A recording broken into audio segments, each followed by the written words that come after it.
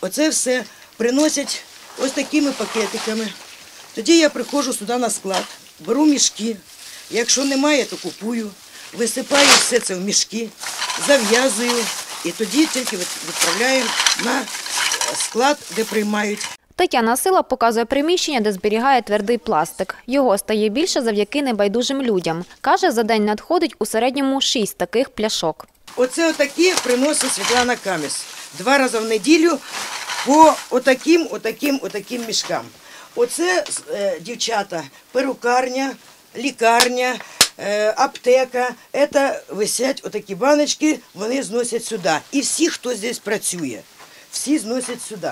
Волонтерка працює на критому ринку. Каже, саме сюди їй можна приносити кришечки.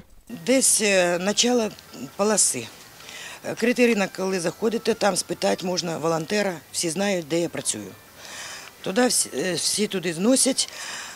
Е, Кришечки йдуть різного калібру. Е, Є на полосі в аптеці отака, отакі пляшки. Е, Біля перукарні отакі пляшки, Е, де кидають сюди. Кришечки йдуть е, різні, тільки твердий пластик. Е, Ні в якому разі шприци, е, зубної щітки. За два роки Тетяна Сила здала кришечок понад дві тони. Виручені кошти відправила на потреби бійців. На підтвердження показує квитанції. За останні вісім місяців назбирали ще майже тонну твердого пластику. Зараз партію відвеземо, стільки можна. Е, В другий раз, десь може через 2-3 дні ще таку партію будемо вести. Є хлопець, який поранений з нами, це Саша Осіпов. Ці кришечки збирались саме для нього. Е, Зараз підключилось дуже багато поранених ще хлопців і онкохворих бійців. Теж багато.